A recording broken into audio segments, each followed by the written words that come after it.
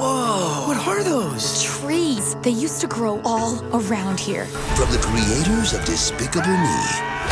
Ow! Comes the world of Dr. Seuss as you've never seen it before. Wow. Zac Efron, Taylor Swift, Betty White, Danny DeVito. Who invited the giant furry peanut?